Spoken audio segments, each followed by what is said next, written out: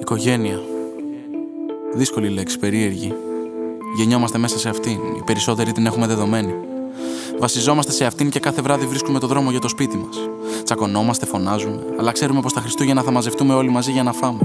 Την πρωτοχρονιά θα ανταλλάξουμε φιλιά και ευχές να είμαστε υγιείς και να το ξανακάνουμε του χρόνου. Όλοι μαζί. Ή μάλλον όχι όλοι. Η ιστορία του Μπράντο είναι κάπως διαφορετική. Η ιστορία του Μπράντο μιλάει για έναν πιτσιρικά που πριν καν ενηλικιωθεί έφυγε από το σπασμένο σπίτι του και αποφάσισε να φτιάξει τη δική του μοίρα. Έναν πιτσιρικά που πριν το καταλάβει βρέθηκε να έχει χάσει επαφές με τους γονείς του, που χρειάστηκε να δώσει δικό του ορισμό σε μία λέξη που οι περισσότεροι παίρνουμε ως δεδομένη. Έναν άνθρωπο που στα 22 του πλέον ξέρει τι είναι αυτό που χωρίζει τον φίλο από τον αδερφό και τι είναι αυτό που κάνει την παρέα οικογένεια. Δεσμοί αίματο. 2020.